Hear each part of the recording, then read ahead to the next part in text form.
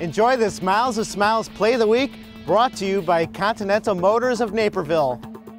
In Benet's sectional semifinal, middle hitter Brittany Pavich decided she wanted to put on an offensive clinic.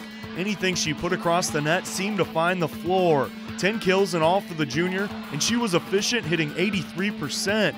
Good for a win and the play of the week.